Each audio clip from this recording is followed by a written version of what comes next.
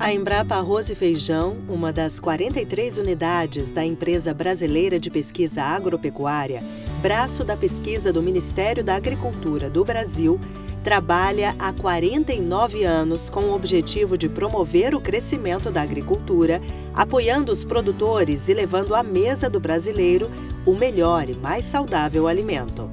Dedicando-se à pesquisa dos dois principais alimentos consumidos em todo o país, ao longo de sua história, o Centro de Pesquisa trouxe inovações e sustentabilidade que transformaram positivamente o cenário agrícola em todo o território nacional e em diversos países.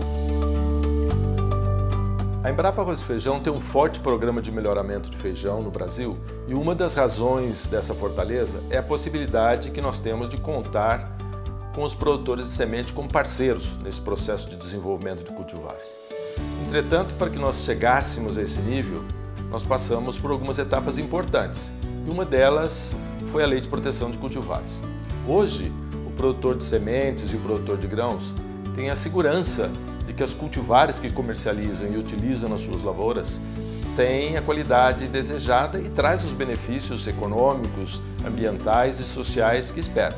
Só para dar um exemplo, que embora não seja com feijão, mostra a importância ah, dos parceiros nas cultivares protegidas da Embrapa, quero falar do caso do arroz. Em cerca de cinco anos, nós passamos de menos de 10% para mais de 85% no mercado de semente de arroz na região tropical do Brasil. Essa é a expectativa que nós temos com o programa de melhoramento de feijão, pois a proteção de cultivares, aliada ao forte nome da Embrapa, estimulam os produtores de sementes e os agricultores a adotarem as novas cultivares e desfrutar dos benefícios que elas trazem consigo. Some-se a isso o fato de que as cultivares protegidas permitem a Embrapa arrecadar royalties sobre a venda das sementes e, consequentemente, fortalecer o programa de melhoramento de feijão. Em conclusão, a proteção de cultivares fortaleceu e contribuiu para alavancar os programas de melhoramento do Brasil. A Embrapa Arroz e Feijão tem atualmente parceria com 38 produtores licenciados que em 2020 e 2021 colocaram cerca de 870 toneladas de sementes de feijão no mercado. A proteção de cultivares para os agricultores propiciou uma disponibilização muito mais rápida e de um maior número de cultivares aos agricultores. Para você ter uma ideia, antes da aprovação da lei, eram disponibilizadas em média quatro cultivares apenas por ano para os agricultores de feijão comum. E de 1999 até 2009 já foram 15. Houve uma, um aumento também para o Brasil da produtividade média. Então nós saímos de uma produtividade média de menos de 500 quilos por hectare para mais de 1.500 quilos por hectare. Isso foi muito é, evidente, né? E quando a gente pensa em sistemas muito tecnificados, como é o caso do, da, dos sistemas irrigados por pivô central, isso chega a mais de 4 mil quilos por hectare. Então, realmente foi uma revolução né, para os agricultores brasileiros. Para o consumidor final, isso permitiu uma disponibilidade muito grande né, de variedades na, na gôndola. Então, o consumidor hoje ele chega no supermercado, ele pode escolher o feijão que ele quer. E também a questão da, do preço. Pressupõe-se que maiores produtividades elas permitem né, um maior rendimento e com isso uma redução no valor do alimento. O feijão comum poderia estar muito mais caro para o consumidor se essas variedades não fossem tão modernas, tão adaptadas e tão produtivas. Na verdade, a proteção do, das cultivares por parte dos obtentores, eu diria que é fundamental para o sistema de produção de semente como um todo, né?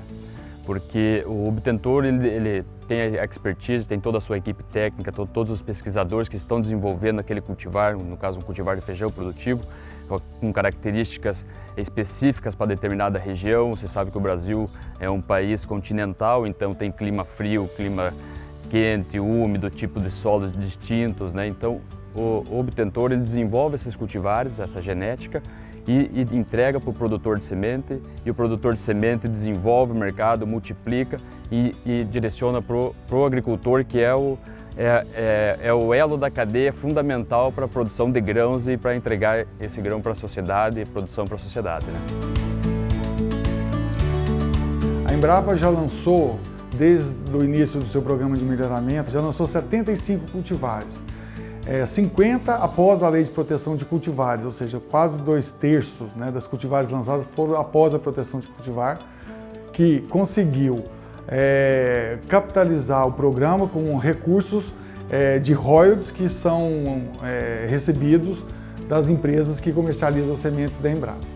O recebimento de royalties propicia que a gente consiga investir é, mais na, em pesquisa, desenvolvendo novas cultivares que têm é, características superiores às cultivares antigas, superiores tanto a nível de produtores, como resistência à doença, como produtividade, né, também a nível de consumidor, com melhor qualidade nutricional, é, melhor qualidade culinária. Nós temos os recursos de royalties para financiar esse tipo de trabalho é fundamental para que a gente tenha um, um trabalho de qualidade.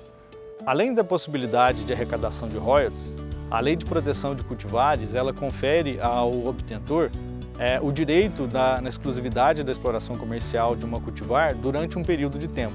No caso das cultivares de feijão, são 15 anos. É, durante esse período, o obtentor tem a prerrogativa de estabelecer em quais, as condições, quais serão as condições para licenciamento daquela cultivar. Então, é, onde que ela vai poder ser, ser, ser cultivada, é, multiplicada, para quem ela vai poder ser comercializada, seja para um determinado público ou para uma determinada região, é, quais, quais serão as taxas de royalties, né, a forma de cobrança de royalties dessa, dessa cultivar, tudo isso é prerrogativa do, do obtentor é, conferida por, pelo, pela proteção da cultivar. Além disso, durante esse período de 15 anos, no caso das cultivares de feijão, o obtentor ele fica protegido que outras empresas não vão se apropriar daquela tecnologia é, desenvolvida por ele. É, isso seja uma empresa no mesmo país onde foi desenvolvido, até mesmo em outros países. A Embrapa Arroz e Feijão conta hoje com credibilidade junto aos diversos públicos com os quais interage. Esta imagem positiva foi construída ao longo de sua história por meio dos inúmeros resultados de sua pesquisa, somados à confiabilidade proporcionada pela proteção das cultivares. Foi esse o caminho que promoveu o crescimento dessa cultura e permitiu atender às expectativas dos produtores.